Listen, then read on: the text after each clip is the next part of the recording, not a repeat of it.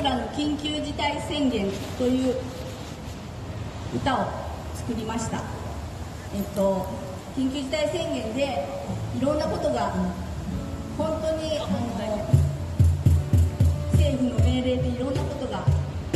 できなくなったり、まあ、もちろんコロナかかっちゃいけないのでやっちゃいけない自粛しなきゃいけないこともたくさんあるんですけど、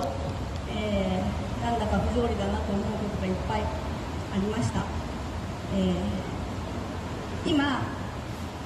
政府が緊急事態宣言だよと私たちに言ってますが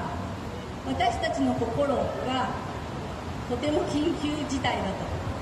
思っています。あの何か声を上げるっていうことが自粛することがないようにぜひ